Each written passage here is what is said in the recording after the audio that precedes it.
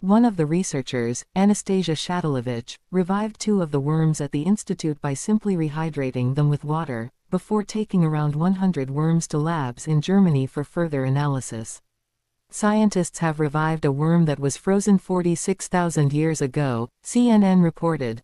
The roundworm, of a previously unknown species, survived 40 meters 131.2 feet below the surface in the Siberian permafrost in a dormant state known as cryptobiosis, According to Teymuras Kurzchalia, professor emeritus at the Max Planck Institute of Molecular Cell Biology and Genetics in Dresden and one of the scientists involved in the research, as per CNN.